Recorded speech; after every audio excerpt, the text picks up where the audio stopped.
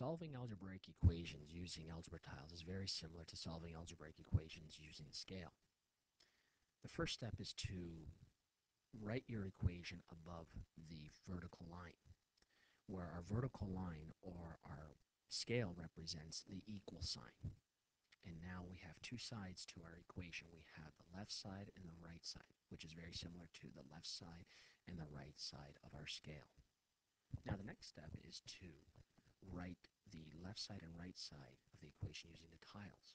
So I'm going to write 4 plus 3x using algebra tiles. To represent the 4, we're going to use 4 red unit tiles, and we're going to place it on the left side of the vertical line. To represent 3x, we're going to place 3x tiles on the left side of the vertical line.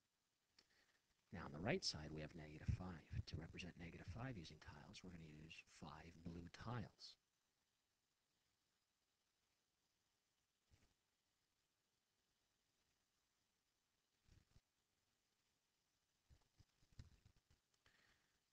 As we did with the scale, we wanted to determine what one of those x values was equal to, and that's what we're doing to solve.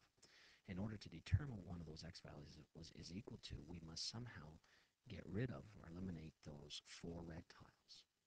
So how do we remove those four red tiles from our equation?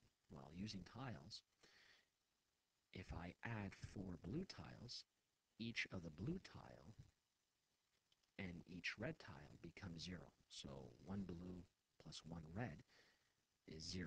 Negative 1 plus 1 becomes 0. But whatever we do to one side, you have to still think of the scale.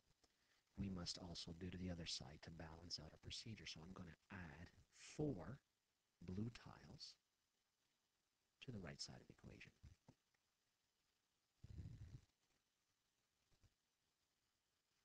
Now what happens to these tiles on the left side is that they become zero.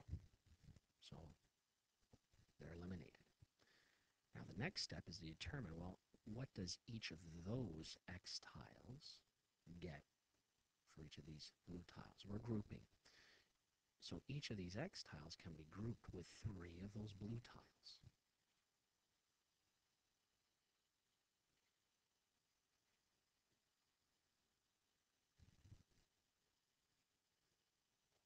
So now we have our equation and we solved it. x is equal to 3. Write down our answer below.